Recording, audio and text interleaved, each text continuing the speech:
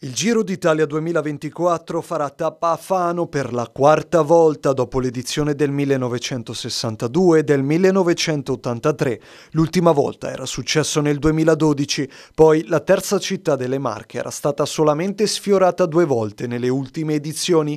Contò la rovescia per l'arrivo dei campioni il 16 maggio per la dodicesima tappa. Martin Sicuro Fano, un percorso di 183 km che attraverserà la regione da sud a nord, attirando in strada curiosi appassionati. Il Giro d'Italia torna a Fano, lo, lo sapeva? So, lo so, lo so, lo so, sì, l'abbiamo già visto altre due volte. Una volta è arrivato in Sassonia a Fano e una volta qui dove arrivano quest'anno. Sono un appassionato, perciò lo seguo. Lo sapeva? Sì.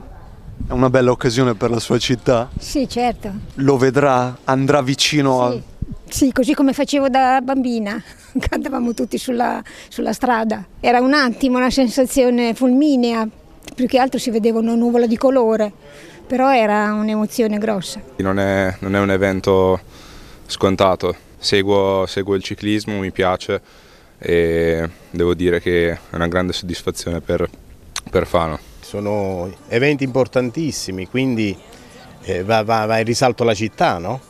Quindi spero che passi proprio nel cuore della città. Ancora top secret la traiettoria fanese della tappa, questo ha fatto partire in città un toto tracciato per capire dove passerà il Giro d'Italia, anche se qualcuno, a meno di tre mesi dall'arrivo, non ne era ancora a conoscenza. Giro d'Italia nella sua città, lo sapeva? Ah no, non sapevo.